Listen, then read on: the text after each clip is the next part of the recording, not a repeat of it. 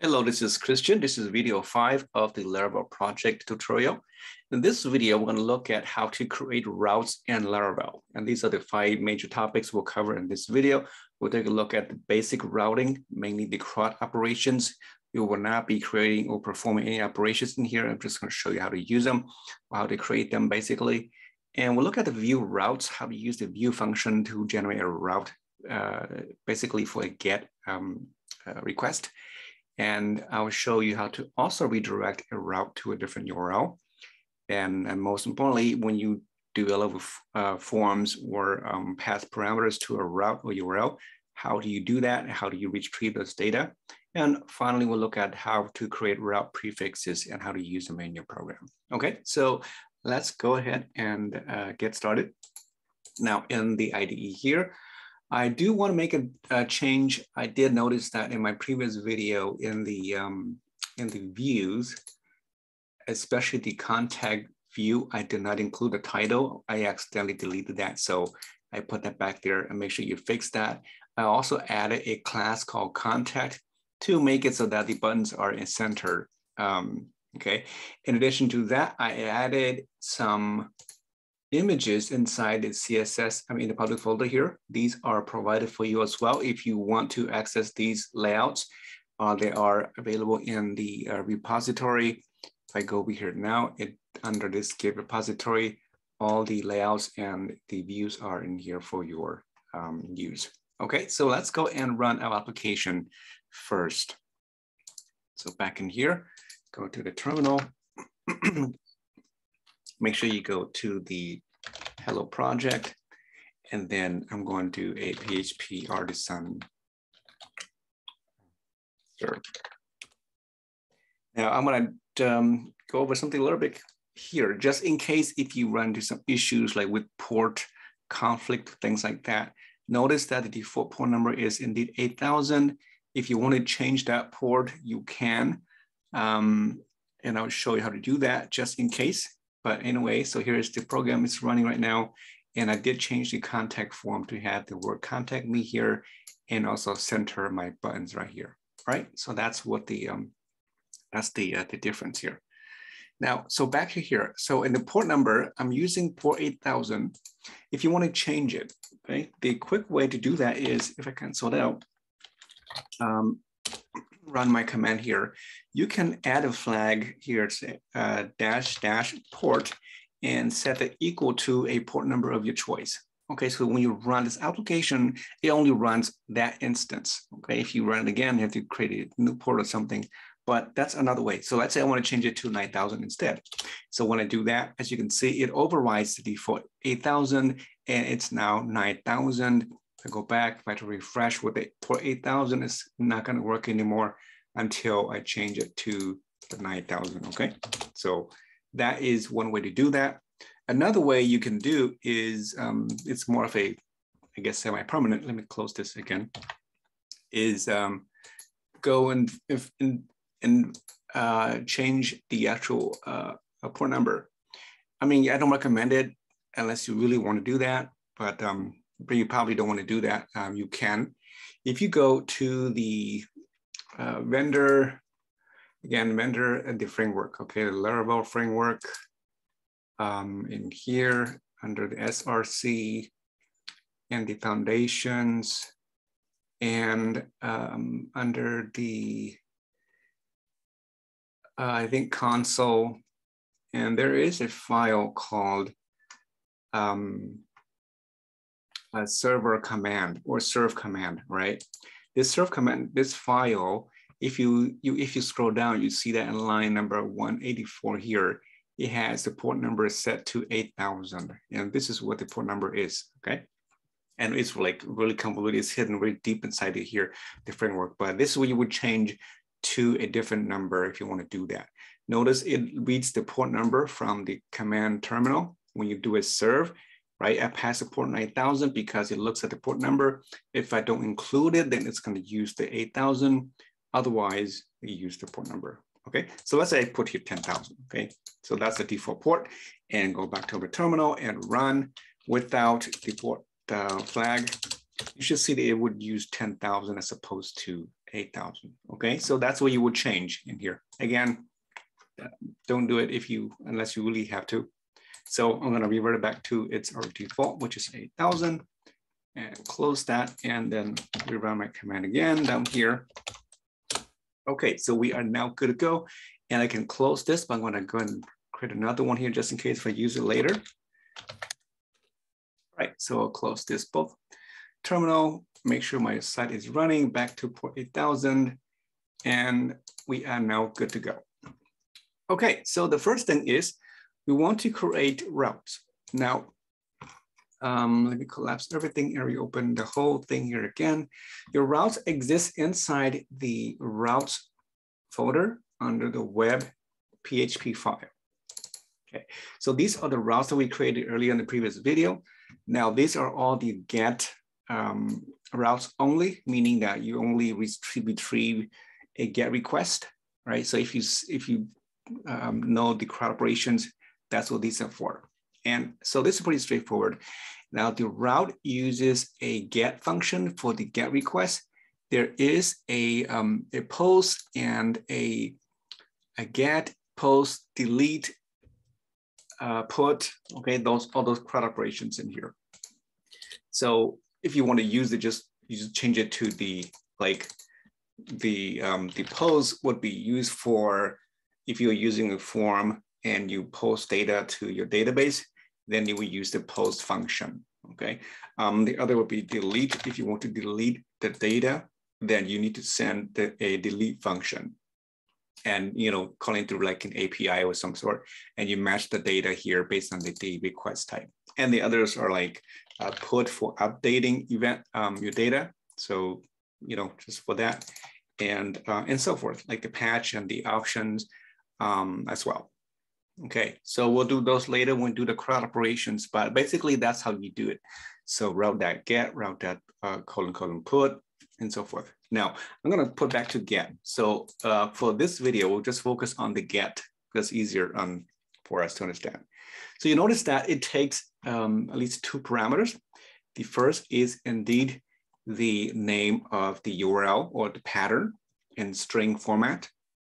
Uh, the slash is always the root directory. This is um, a about uh, page, if you will, or a slash about directory, contact, portfolio, and so forth.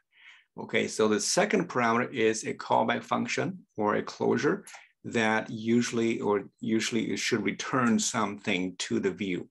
Okay, so the return function here, um, and return keyword returns a view to the browser and the view function here takes um, at least two parameters. Um, the first one here is actually there are more parameters, but the, the one that is usually more relevant is the index or the view here, the name of the view. This is the name of your blade view.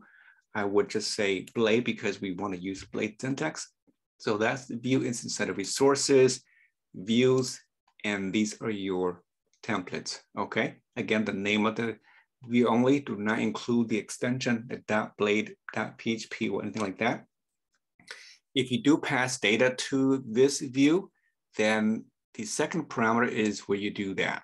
Okay, usually you use it an array like this, a key value pair or associative array. Um, if you pass more than one data, right? If you just do one piece of data, then you can also do something like this instead of saying, um, uh, you know, that you can use the with function and uh, you can pass that too. But I, I would stick with this array, okay? What, what I meant was like, you could do this. So I can do about, and then here arrow, and then we'll put here, let's see if this works, with, and then the with functions, you can see it takes the parameter here, followed by um, the value and we'll see if this works. Um, okay, so this is only for like, you know, one parameter or some, some sort. I mean, this way or that way, it doesn't matter. And if I say that, let me just uh, do something here about me with exclamation mark, just to make sure that it does work, okay? So go back to the browser and go to the about me, and you see that it does work, all right? So you can use the with function, um, or again, my recommendation is just to use the, uh, the, um, the array here, okay? All right, um, so Now, one thing you want to do also is if you want to see all your routes, whether they are you know, created in this web file, because later on when you create a lot of routes, you tend to break them out, put into separate files and all over the place, right? And so how do you track all these routes? Now in the command terminal, if you go back in here, using the other um, PowerShell command here, you can actually see a list of all your routes by typing the word PHP artisan and uh, route colon list. Okay, this will tell you here all the routes that this application is using. So you can see that there are some routes that are um, generated by the uh, framework or some third party. Like it tells you what type of route it is. As you can see, both of these, this is a get, this is a post, get, post, and you can see these are the ones that I create, right? Um, except, you know, the last one here. So if you want to see um, what type it is, so for example, let's just say that I'm going to change the about to a, um, a post and I'll change the contact to delete. Just so you can see, I'm not going to do the operations here. Save the file, go back in here and run the command again. And now you see that the about has been changed to a post, right? And then the delete, um, the contact has been changed to a delete okay? If you do want to see just the one that you create, just your own, then you can also do that by following the same command, except over here, you want to list a flag to say dash dash except and then dash vendor. That will remove all the other routes that not created by you. Okay, so now you can see these are all the routes that you create, your own custom routes. And there should be about, you know, five of them, including you know, this gap is, so there are um, five. Um, yeah. All right, so that's kind of useful. Um, I want to go back and change back to about. All right, so now let's see how another way you can generate uh, um, routes, I mean views. So notice that when we this is the typical way how to generate a, a, a route, a view, okay? Using the return function, and the callback function, return that to the thing, to the view. You do this way because it's a function, and maybe inside the function, you want to perform some operations, right? So this is not a big deal. Maybe like in your portfolio, we do a, um, a get a certain uh, user ID or something to search your database, return some data back. So you do some operations in here, okay? And then, and then you would then include that in your view and so forth. If you don't do any operations, any special operations in here at all, then you can actually just render this view to the browser using a different method, uh, using what's called the view function here. Okay, so let me go back and um, maybe we'll change this about here for, for now, okay? So let's rewrite that one using a different method here. So this is called the um, view routes. So colon colon view function as opposed to the get.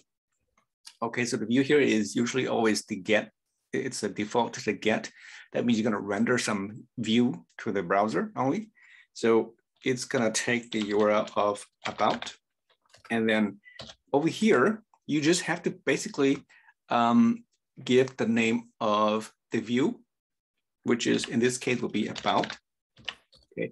If you pass any data, then that's the third parameter over here. Let me put a semicolon just to terminate that thing. And then the data will be the title here, right? So again, I'm gonna put, let me copy this, uh, put it in here. And the title is about me. Remove that exclamation mark again. And then let me turn this off. Okay, so you can see that it's shorter. Okay, I don't have to use the function. I don't use the return statement and things like that. It's just the URL, the name of your view, and any parameter you need to pass to that view. This again, this is optional, all right? So now if I save this and go back to the browser and go to the about page, you can see it still works just fine. Right, so that's a shortcut um, if you want to uh, just render a view okay, without doing any other operations. If you want to do operations, then you want to use the callback function. Okay, So that's um, it for that one. The next one is, let's do a redirect. Let's say that, you know, when I navigate to the contact page, um, or, or I don't know, the, um, the maybe homepage here, okay? Let's go to the homepage and then I would then redirect to the about page, okay? So in here, you can call the redirect function as opposed to the view. So instead of saying return view, I would do a return and then redirect. So again, here very simple. As you can see, it takes a string. The string is the view, which is the URL we're going to pass to. In this case, it's going to be the about page. And basically, that's that's the minimum you can you you will need. Now, because I have two two return statements, this is not going to run. Okay, I, I, will leave it here, but I'm just not going to run. Uh, it's the first one. It will it will redirect. So that means when I go to the home page, it's going to redirect this to the about page. So this is useful for um, you know, redirecting to a different page. Let's say you have a, a, a new uh, web page, a new um, content page of some sort, and the URL has been changed. And if people are still accessing your old URL, right, because they still, they, you know, say that or favorite the URL, then you can redirect it to the new page. And that's how you do it. Okay, so let's save that and uh, go back to the browser. And if I go to the home page, you will see that it should take me right back to the about page. So now I lost access to the home page, basically. Okay, so you can see, and it takes me right to the about page. So that's for redirecting. And you can do more than that, just redirecting. I'm just giving you a very simple one where you just put the URL into the redirect. You can also using, um, you can use a, a, named route. Maybe we'll do that later, but um, that's, that's enough for this one. Now, the next one I'm gonna look at is, let me turn this off. I don't wanna go back to that route, is parameters, okay? So let's say that I'm going to, um, maybe the portfolio here, I like to, uh, yeah, just, just for testing purposes.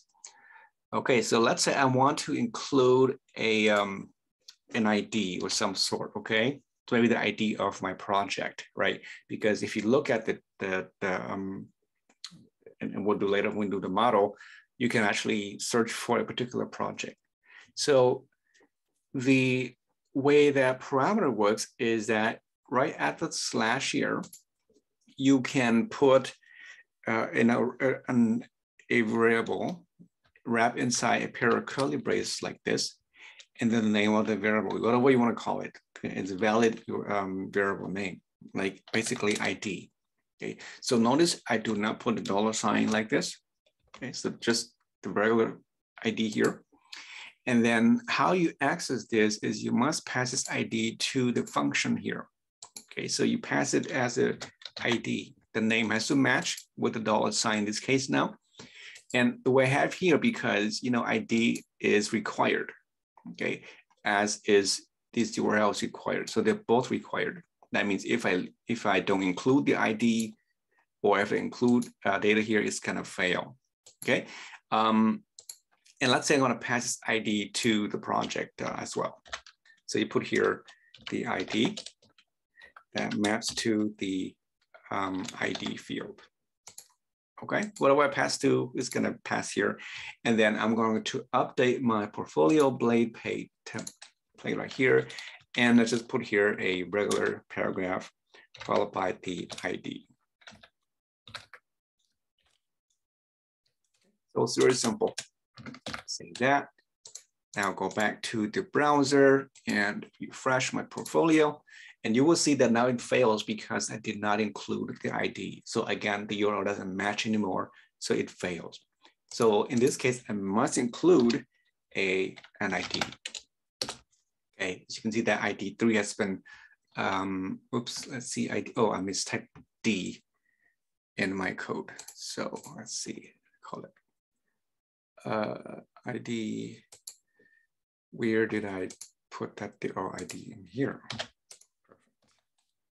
Okay, so you can see that now it's required to include the ID. It's, it's printed here. Now ID could be anything. It could be anything like that. ABC one two three. Any, anything you put here will be uh, accepted.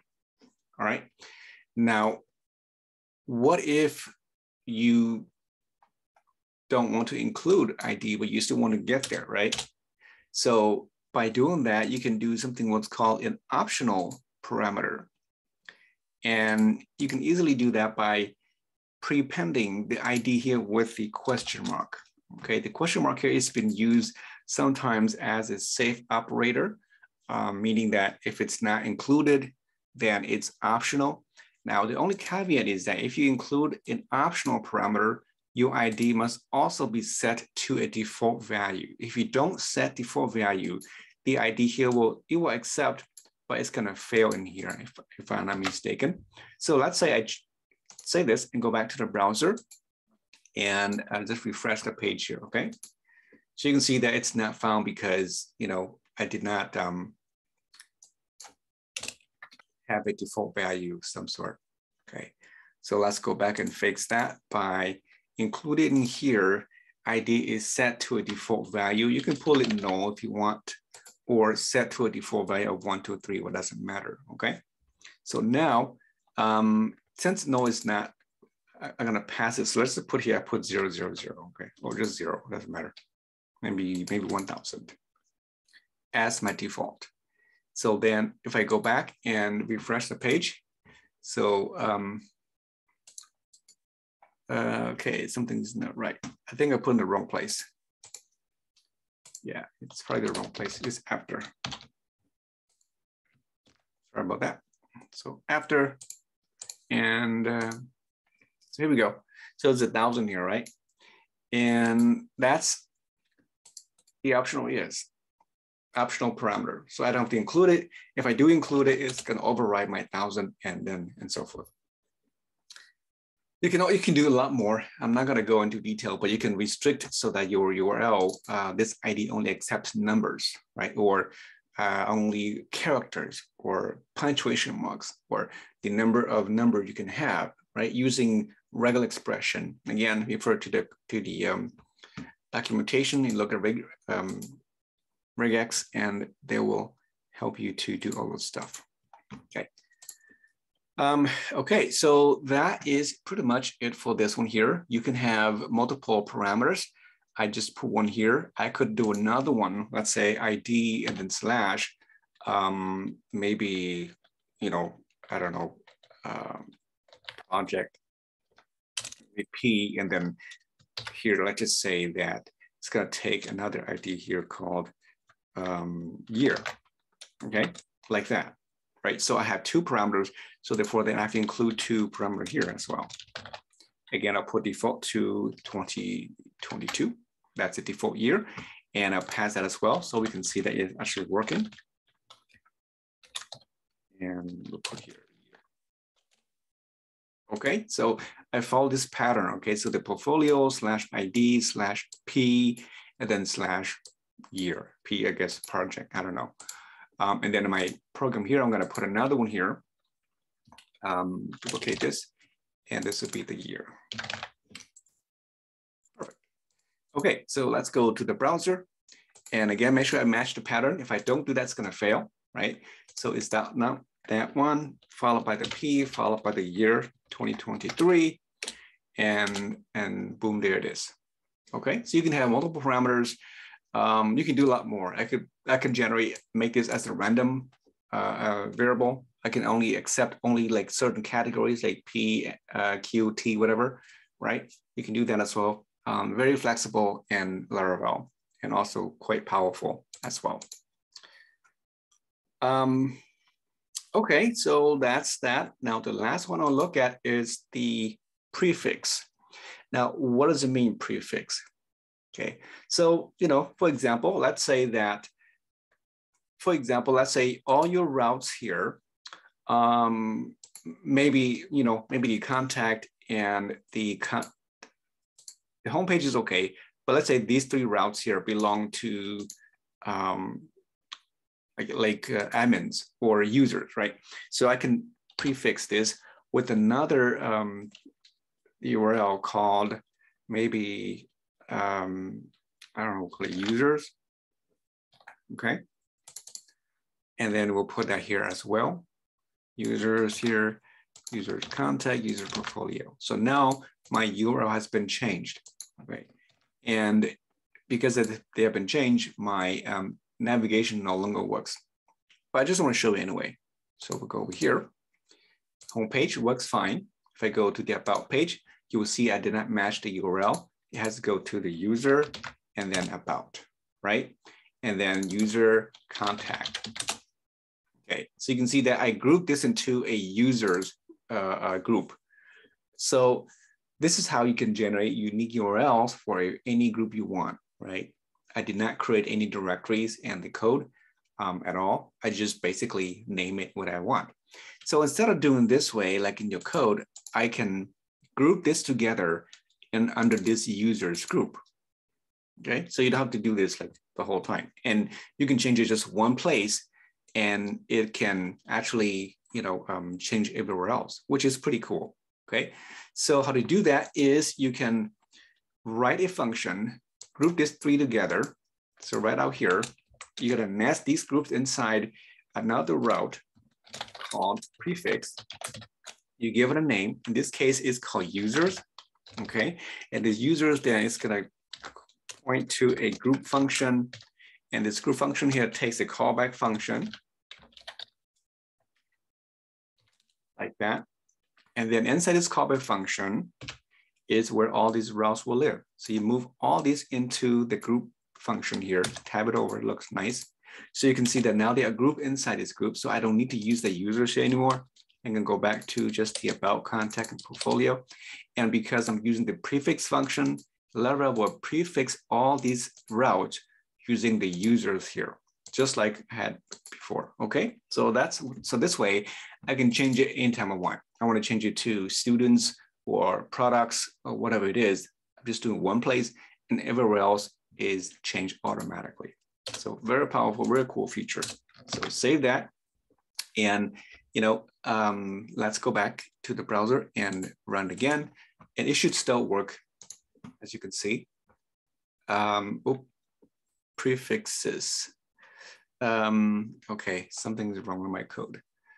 Define prefix. Uh, let's try again. Probably uh, did incorrect um, prefix group function um,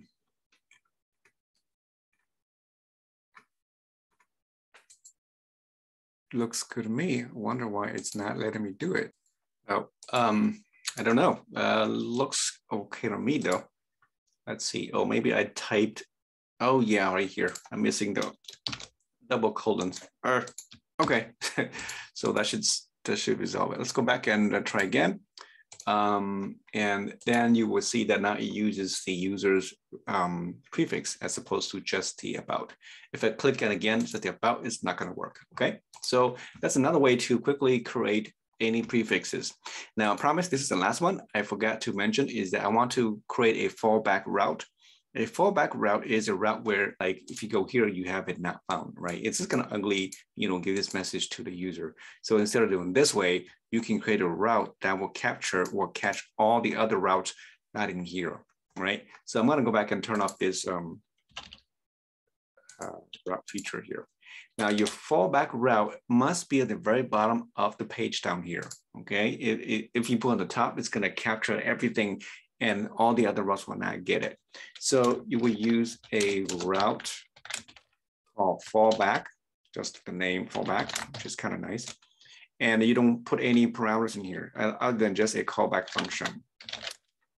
And this function here, um, basically, um, you return a view. Okay, so return a view. What's the view called? I'll call it 404 because it is a 404. And I'll create a, a blade for that. And we'll put here the title as well. Um, and we'll call it um, not found. Kind of the same thing, but then we'll, we'll create a view to make it a little bit nicer. So I'm gonna copy one of these, maybe the about one. Yeah, copy that one, control paste and replace it with a um, 404 dot blade. Now, in the content here, I'm going to include a, um, uh, the title will be the same, this is the same here. The message will be something like, um, you know, sorry, I fail to find what you are looking for. Uh, please try again. Okay. Uh, again, I already included an image I'm going to use in here in the public folder, um, the crying emoji. so if you want to, you know, add that in here, maybe right above here, I use a figure. Um, I keep forgetting. So the image here, and it's coming from the images um, crying emoji.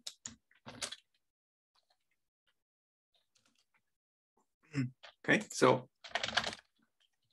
and that would put a kind of, I guess, a nice emoji on the site. So let's save this and go back to the browser and see what we have.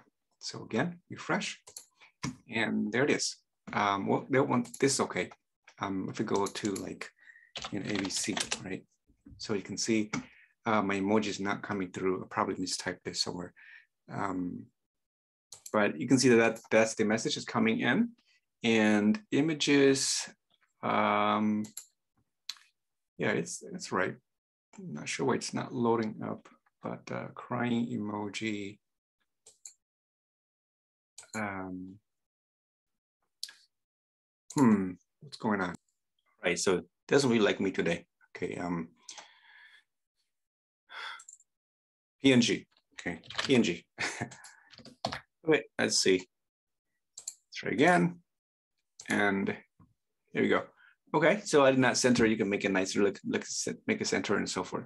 So that's what the fallback is for. It, just make sure you put at the very bottom of your page. Otherwise, it's gonna capture that and it's not gonna work for you. Okay, well, thanks for watching. In the next video, we'll look at uh, the controller, well, the model. Thanks, and I'll see you in the next video.